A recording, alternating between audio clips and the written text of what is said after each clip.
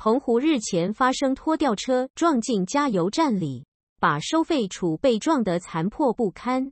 原本坐在站内休息的加油站站长，突然间整个收费处被拖吊车重击，办公区域东倒西歪，玻璃碎满地。站长捂着头赶紧跑出来，到底发生什么事？原来闯祸的是拖吊车，这根支撑柱没有完全收合。直接硬生生往加油站撞，收费亭被撞到四分五裂。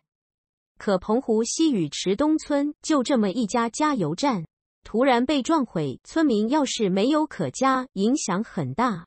还好加油站员工临时应变，加上紧急抢修，总算恢复正常运作。至于受伤的站长，只能先在家休养。